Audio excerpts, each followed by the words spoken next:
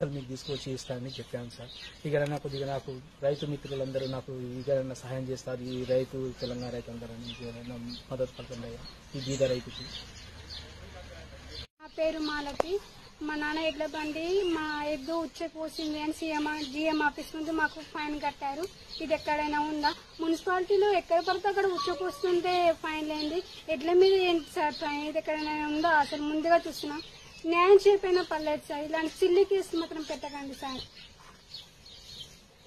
sir